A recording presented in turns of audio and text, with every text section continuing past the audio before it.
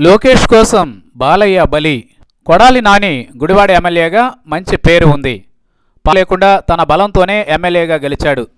మొదట్లో టీడీపీ తరఫున పోటీ చేసి అఖండ మెజారిటీతో గెలిచాడు. తరువాత రెండు వేల పద్నాలుగులో జగన్ పార్టీలో చేరాడు. అప్పుడు కూడా అఖండ మెజారిటీని సంపాదించుకున్నాడు. తనకు పార్టీతో సంబంధం లేదని తనను చూసే జనాలు ఓట్లు వేశారని నాని చెప్పుకుంటున్నాడు. నిజంగా చెప్పాలంటే తను చెప్పిందే ఖచ్చితంగా అని చెప్పవచ్చు. టీడీపీకి కంచుకోట లాంటి స్థానంలో పార్టీ మారి ఎమ్మెల్యే సీట్ను గెలుచుకున్నాడంటే అది తన సత్తా అని ఒప్పుకోవచ్చు.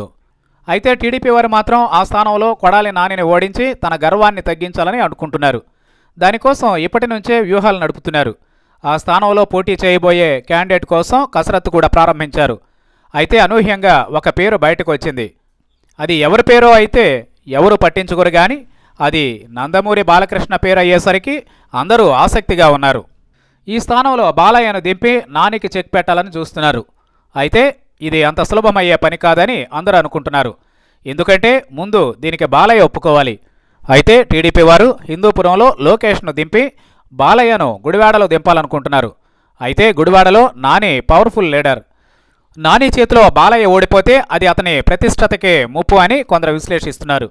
ఏది ఏమైనా లోకేష్ కోసం బాలయ్యను బలి చేయబోతున్నారు.